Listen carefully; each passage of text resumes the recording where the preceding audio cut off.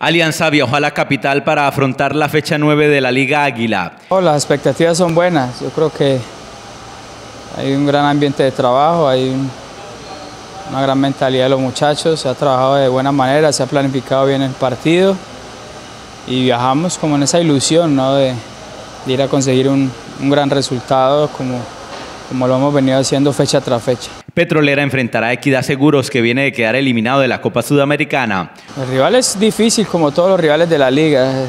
Si bien su situación en la tabla de posiciones es algo incómoda, han hecho yo creo que una muy buena presentación en torneo internacional, eh, con una base de jugadores que, que ya llevan tiempo y, y un estilo muy marcado de juego.